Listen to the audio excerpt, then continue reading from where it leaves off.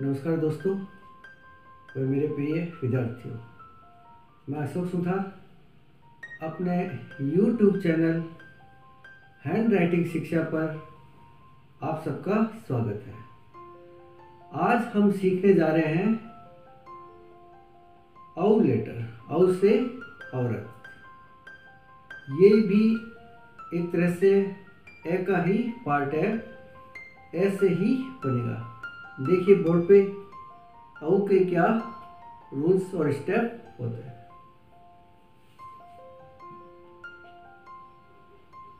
First step,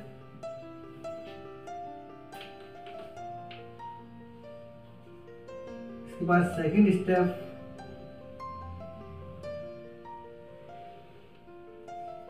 first step से second step थोड़ा बड़ा होगा। और इस टेल को आप देख रहे हैं। हम इसकी सीट तक ले गया। ये इसका second step next third step first second third इसकी best line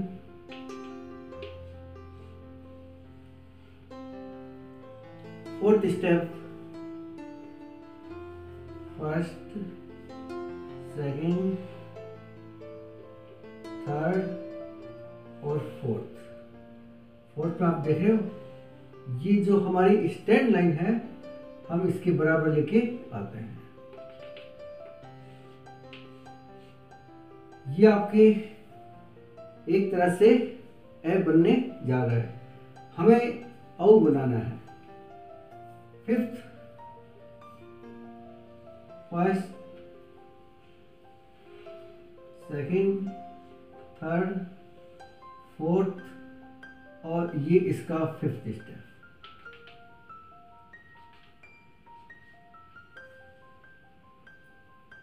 नेक्स्ट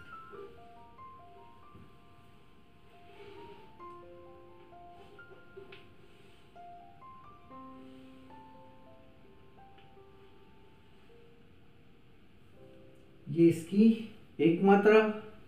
और में आप देख रहे हैं, हम दो मात्राएँ लगाते हैं। ये इसका six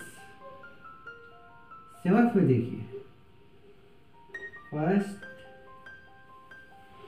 second third fourth fifth और उसके बाद ये सिक्स में आपको दो मात्रा लगानी